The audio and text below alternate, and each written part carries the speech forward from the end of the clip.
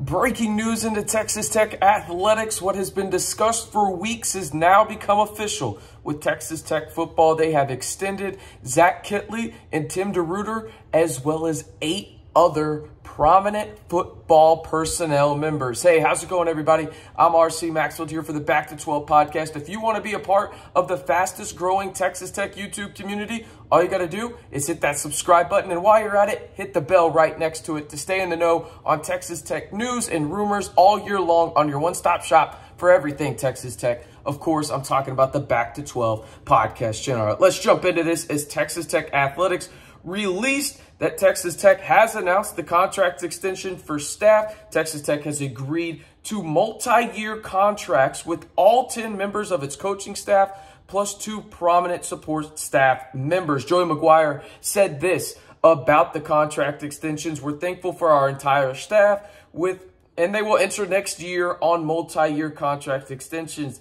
This was a top priority for me personally as I truly believe in the staff and the direction of this program. The leadership and the support we receive from our administration and Red Raider Nation are unmatched and we look forward to continuing to build upon the success of this past season. Now, Texas Tech agreed to three-year contract extensions with defensive coordinator Tim DeRuyter as well as offensive coordinator Zach Kittley. And now when you look at well, the pay structure of this, Tim DeRuyter's new contract agreement is worth 3.515 million, excuse me, over three years. So he'll be getting paid about 1.05 million a year. Not too bad. While Zach Kittley was given a raise to 2.55 million as part of a staff and assistant pool increase by nearly $798,000. Might as well round up and say 800K to roughly 7.5 million in McGuire's second season. Uh, this is by far the largest in program history. Now, in total, according to the release, all 10 of Texas Tech's current assistant coaches are now under multi-year agreements heading into 2023. And so who does that include? That includes CJ Ayu. That includes the inside linebacker coach Bookbinder, tight end coach Josh Cochran. And then, of course, you got the QB Hunter himself and Coach Fitch, as well as that menacing man coaching the big nasties down in the trenches for the Texas Tech offense. Of course, the legendary Coach Stephen Hamby. Now, obviously, Kenny Perry will get an extension as well. Marcel Yates as well. And then the two prominent role position players in terms of staff members, I should say, for Texas Tech that will be getting an extension is Brelo and then Antonio Hoffman as well. They both agreed to two-year contract extensions. Who is Brelo is the strength and conditioning coach, associate athletic director for football administration is Antonio Hoffman. So one last thing on this too, it all comes full circle, right, for Texas Tech when you think about it. Remember, Joey McGuire got that contract extension and the deal came out, six year, $26.6 million. That was right after Texas Tech beat Ole Miss on December 28th. Obviously, an 8 and 5 season changes a lot of things in the way that Texas Tech did it changes a lot of things, right? You go 4-0 to end your season. You get Tyler Shough back in the fold. And remember, Tyler Shough has never lost a football game that he finished and started for the Red Raiders. He's 8-0 in those games, right? So now you got that continuity on both sides of the football, and I want to talk about that a little bit more. But before we do, give me your one-word reaction to hearing that Texas Tech is heavily investing in its football staff. Again, this is the largest pool of money for coaches that Texas Tech football has ever had in program history. Give me your one word down below in the comments. All right, I want to talk about continuity. I think that that is a big deal in college football that really isn't talked about enough, in my personal opinion.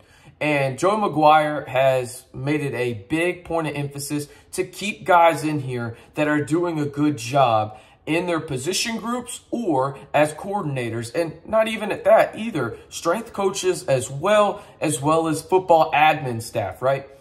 There's something to say about seeing the same people over and over again and getting to know them, building that bond, that family type environment and having that continuity. That just doesn't translate to on the field success. That translates to in the classroom.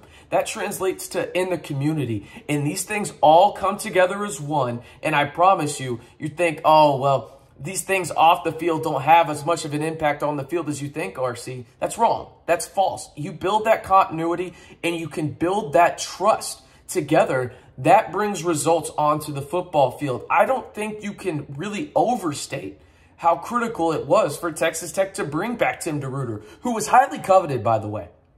There were multiple Power 5 schools coming after him. Same thing with Zach Kittley. I can tell you this for sure. Two SEC schools were going after Zach Kittley to be their offensive coordinator. Um, guess what?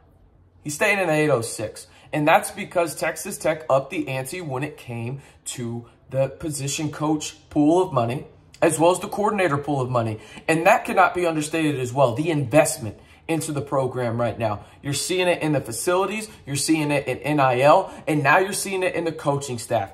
And that's how good football programs run in modern college football. If you have a guy you want and the guy you need and the guy that is getting proven results for you at a coordinator spot, what do you do? You pay him. You pay him because you know you need him and it builds continuity, right? Zach Kittley and Tyler Shough, that is a that's a dynamic not a lot of teams want to match up against, right? Even Behren Morton, too. So you got to keep a guy like that. You've already seen what Tim DeRuyter does on the defensive side of the football multiple stops, and nothing changed at Texas Tech. Now he had a top 10 draft pick in Tyree Wilson here in a couple of months. Out in Kansas City, he'll go to, well, if you look at mock drafts, he's either going to go to the Arizona Cardinals, Seattle Seahawks, some team like that, but he's a top 10 pick. But you also bring back him back and a bunch of other guys. You think about it. Rayshad Williams, Malik Dunlap. You got Rabbit as well. You're bringing back defensive linemen and Bradford and Hutchings. You're bringing back core guys. Bringing back core guys does not just mean players. Coaches are very instrumental in what goes on in terms of on-field success, right? Now, players got to make plays. We all know that. But these coaches have proven in just one short year that they know how to put guys in the proper position to succeed. And they are what Texas Tech needs moving forward. It was paramount. And good for Joey McGuire knowing it too. Good for him for knowing it because sometimes coaches think, oh, if something goes right, they've got an ego. Joey McGuire doesn't have that. He knows he needs these guys around him to succeed, and good for him for knowing so and making sure his dudes get paid.